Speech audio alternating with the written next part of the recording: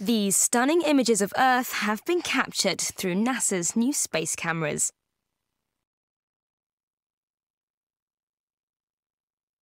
NASA tested out their new high-definition Earth viewing cameras during an experiment from the International Space Station.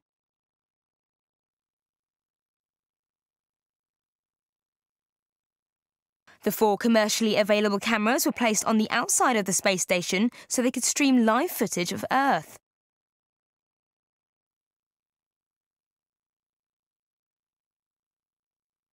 To protect them from the harsh conditions of space, the cameras were enclosed in a temperature-controlled unit. This will also help tech engineers determine which cameras are the best to use on future missions as they analyse the effects of space on video quality. NASA also said US high schools helped to design some of the camera's components.